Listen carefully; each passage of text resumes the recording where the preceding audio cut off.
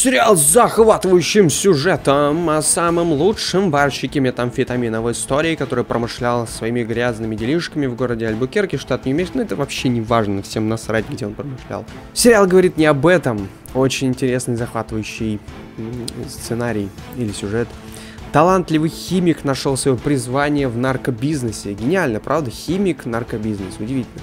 Наконец стал зарабатывать реально до хрена бабок, вдвое больше своей жены. Его продукт оценили как и простые винтовые нарколыги, э, так и крупные дилеры и перекупщики различные. В итоге он осознал превосходство э, своего продукта над другими и решил стать единственным метаваром, убрав всех конкурентов в радиусе 100 километров. И в этом нелегком пути ему помогал его племянник Джесси Пинкман, э, которого он под различными угрозами и насильственной смертью заставил работать на себя, сучара. У меня есть племянник, и все равно чувствуешь разочарование, когда говоришь... Да, вообще-то я знаю, что для тебя лучше. Так что послушай. Пользуясь своим огромным мозгом, он устраняет всех конкурентов одно за другим, чтобы стать монополистом. Теперь он придумывает себе новый никнейм Хайзенберг.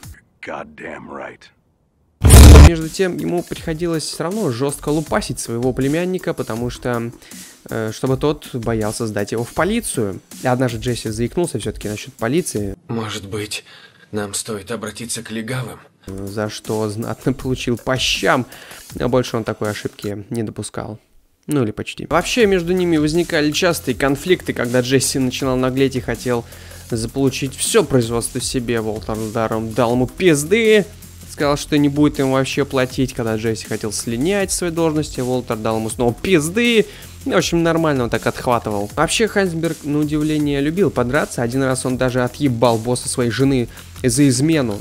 Э, так что тот стал инвалидом. И вообще он любил творить всякую дичь, накуривался, а после гонял и разбивал дорогие тачки. Ну, в общем, беды с башкой начались, но они продлились не так долго. Также он пытался соблазнить своего сына на участие в криминальном бизнесе, конечно же, а не в чем-то еще. Вот что я предлагаю. Ты их вычислишь, а потом мы с тобой оденем им на голову мешки, свяжем, Отвезем подальше в пустыню, разденем догола и по шею закопаем в куче огненных муравьев. Но тот был ДЦПшником, по жизни, кстати, поэтому не понял отца и уснул, а Уолтер хуй забил. Вот. Хайзенберг был просто ослеплен своим успехом невероятнейшим. Варил мед налево и направо, как Монпасье.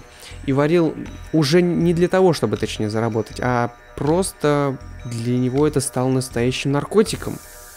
Ну, по сути, это и есть наркотик, но я про его тягу к кулинарии. Ну, вы поняли, короче. Поначалу ему нормально, кстати говоря, платили бабки, э, лям баксов в месяц. 3 миллиона долларов. За три месяца работы. Даже больше. Но потом он подумал, что-то маловато за мой продукт, я же он какой крутой. И сначала завалил своего напарника, а, чтобы с ним не делиться, а потом своего босса взорвал просто, когда тот навещал старого партнера по бизнесу в доме престарелых. Или это был дядя, я так и не понял. Все оборачивается неожиданно, когда однажды Хайзенбергу ставят диагноз рак легких. Вот, очень трагично.